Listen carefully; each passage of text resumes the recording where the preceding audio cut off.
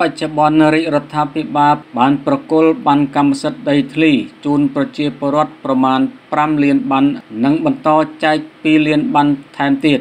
ម្សៅស៊ុបឆាហ្វ55តាក់តែបន្តិចតែឆ្ងាញ់ខ្លាំងឆ្នាំងខ្លាំងមែនទែនម្សៅស៊ុបឆាហ្វ55ផលិតពីសាច់មាន់សុទ្ធគុណភាពខ្ពស់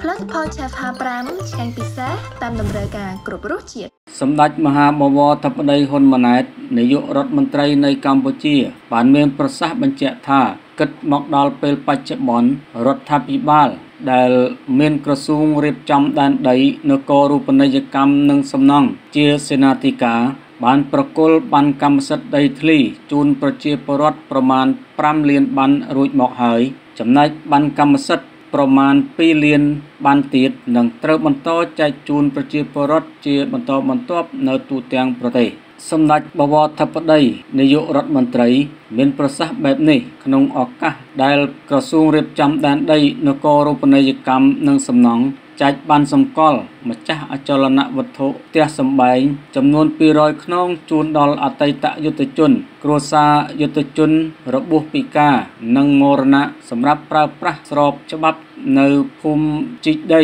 ឃុំអណ្ដូងត្របែកស្រុករមាសហែកខេត្តស្វាយរៀងកាលពីថ្ងៃទី16ខែមករាឆ្នាំ2024 សម្ដេចមហាបវរធិបតីបានបញ្ជាក់ថាបុរីជនបទនឹងបន្តពង្រីកទៅតាមតំបន់នានា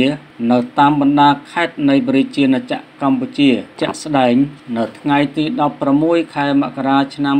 2024នេះប្រជាពលរដ្ឋជាពិសេសអតីតយុទ្ធជន ចំនួន200គ្រួសារក្នុងខេត្តស្វាយរៀងបានទទួលនៅវិញ្ញាបនបត្រសម្គាល់ម្ចាស់អចលនវត្ថុក្នុងនោះមានគ្រួសារពលី24នាក់ស្រី23នាក់គ្រួសារទទួលមរណភាព7នាក់ស្រី7នាក់គ្រួសារបាត់បង់3នាក់គ្រួសារពិការ70នាក់ស្រី1នាក់គ្រួសារនិវត្តជន29នាក់ស្រី3នាក់គ្រួសារយោធា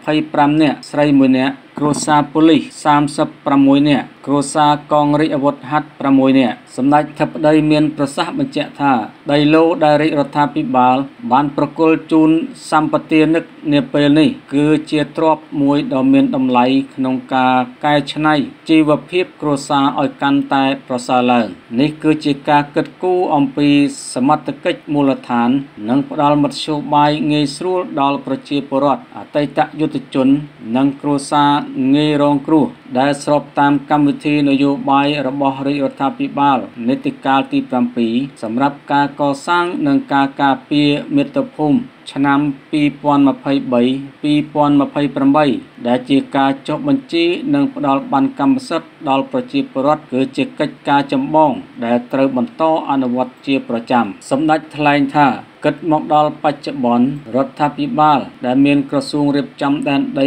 នគររូបនីយកម្មនិងសំណង់ជាសេនាធិការ បានប្រគល់បានកម្មសិទ្ធិដីធ្លីជូនប្រជាពលរដ្ឋបានប្រមាណ5លានបានរួចមកហើយ ចំណែកបានកម្មសិទ្ធិប្រមាណ2លានបានទៀត នឹងត្រូវបន្តចែកជូនប្រជាពលរដ្ឋជាបន្តបន្ទាប់នៅទូទាំងប្រទេសផងដែរសូមបញ្ជាក់ថារាជរដ្ឋាភិបាលនេតិកាលទី7បានដាក់ចេញនៅកម្មវិធីនយោបាយសម្រាប់ការកសាងនិងការការពារមាតុភូមិឆ្នាំ2023-2028ដោយនៅក្នុងគោលនយោបាយអភិវឌ្ឍតាមវិស័យគឺបានផ្ដោតសំខាន់លើការគ្រប់គ្រងដីធ្លី និងសំណង់ ដោយត្រូវអនុវត្តការកែតម្រង់ឲ្យកាន់តែសកម្មនិងស៊ីជម្រៅលើវិស័យដីធ្លី តាមរយៈការពង្រឹងការគ្រប់គ្រងដីធ្លីដោយជំរុញបញ្ចប់ការចុះបញ្ជីលើកដំបូងជំរុញការចុះបញ្ជីសហគមន៍ជនជាតិដើមភាគតិច និងជំរុញការចុះបញ្ជី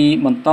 ដីគ្រប់ប្រភេទព្រមទាំងផ្ដល់បានកម្មសិទ្ធិជូនអ្នកកាន់កាប់ដែលមានលក្ខណៈសម្បត្តិគ្រប់គ្រាន់តាមលក្ខខណ្ឌលើសពីនេះរដ្ឋាភិបាលក៏បន្តអនុវត្ត កម្មវិធីសម្បទានដីសង្គមគិច្ចដើម្បីចែកជូនប្រជាពលរដ្ឋស៊ីវិលក្រីក្រ ឬផ្ទះជូនដល់កងកម្លាំងកំពុងឈរជើងតាមព្រំដែនអតីតកងកម្លាំងប្រដាប់អាវុធគ្រួសារដែលក្រីក្រដែលខ្វះដីប្រើប្រាស់ប្រកបដោយតម្លាភាពនិងសមធម៌ម្សៅស៊ុបឆាហ្វ55តាក់តែបន្តិចតែឆ្ងាញ់ខ្លាំងឆ្នាំងខ្លាំងមែនទែន ម្សៅស៊ុបឆាហ្វ55ផលិតពីសាច់មាន់សុទ្ធគុណភាពខ្ពស់ផលិតផល Chef 55ឆ្ងាញ់ពិសេសតាមតម្រូវការគ្រប់រសជាតិ